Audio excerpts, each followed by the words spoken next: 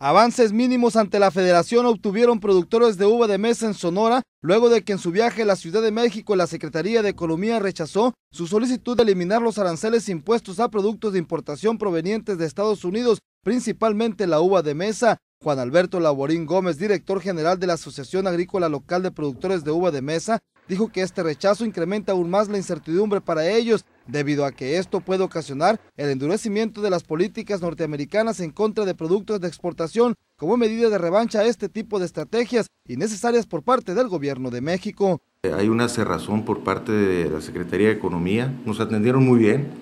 pero la verdad que, no hubo ningún avance en, en este tema.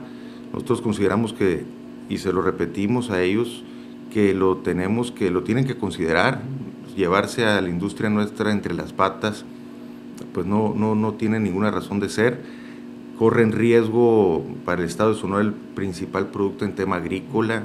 Detalló que urge una solución a este tema debido a que los tiempos de cosecha en la uva sonorense se acercan por lo que en caso de que Estados Unidos igual aplique aranceles o endurezca sus medidas fitosanitarias o cualquier otra medida de imposición como respuesta, estaría afectando a casi un 80% de la producción que se envía a Estados Unidos para su comercialización. El riesgo es muy alto y como nuestra cosecha y ventas en un periodo tan corto, cualquier situación que haya diferente a otros años es más que suficiente para que la industria se caiga y no se vuelva a levantar.